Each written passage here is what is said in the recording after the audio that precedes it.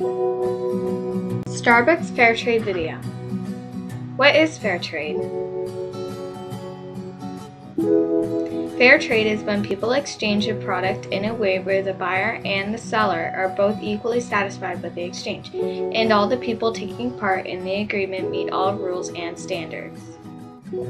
Starbucks is fair trade certified because they have been purchasing fair trade coffee. They show us so by using these symbols on their coffee.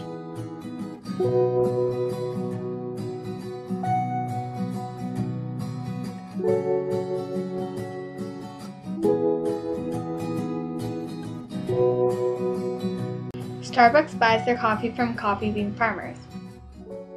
Farmers usually do not get paid a fair deal when they sell their coffee beans.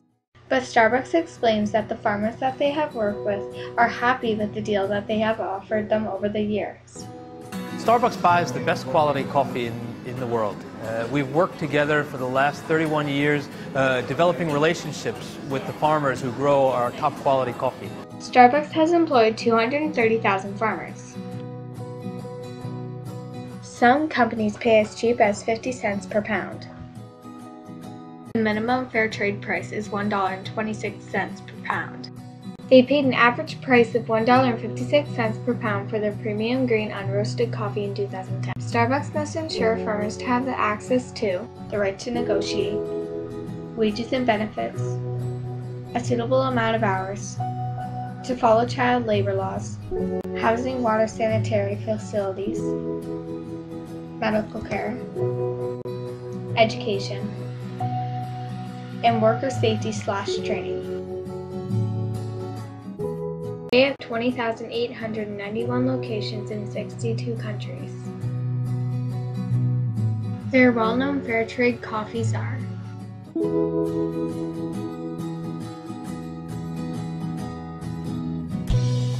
Starbucks bought 226 million pounds worth of coffee from C.A.F.E. practices in 2010. Starbucks does not support child labor. We prefer that our suppliers hire no one under the age of 15. Starbucks quotes All coffee must meet Starbucks standards of high quality, but they have extremely high standards for their coffee. Starbucks makes sure that the water that they're in control of is protected and safe. Overall, Starbucks shows ethical behavior.